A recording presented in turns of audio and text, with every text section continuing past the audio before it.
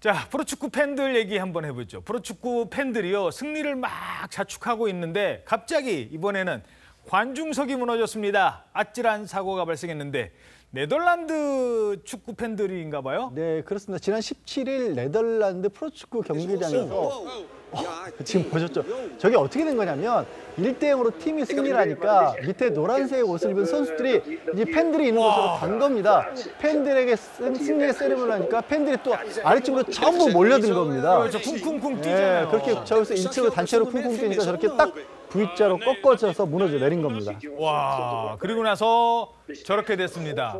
설마 저게 무너지리라 콘크리트 같은데 다친 사람 없었어요? 정말 다행스럽게도 다친 사람이 한 명도 없었어요. 지금 저 흥분해서 응원하는 팬들이 원정 팬들이에요. 예. 저게 홈구장이거든요. 그러니까 상대편 패배한 팀의 홈구장인데 원정 응원까지 가서 패배를 자기들이 승리를 했으니까 얼마나 흥분했겠어요. 그렇겠죠. 그래서 쿵쿵 뛰다가 그 상대편을 눌러버린 것도 모자라서 구장까지 부숴버린 겁니다. 그렇게요. 네, 그런데 천만 다행으로도 또 다친 사람이 한 명도 없었어요. 네. 근데 정말 저 상황에서 다친 사람이 없었다는 건 정말 기적이라도 기적이라고 말할 정도로 정말 운이 좋았던 상황이다 이렇게 생각이 돼요.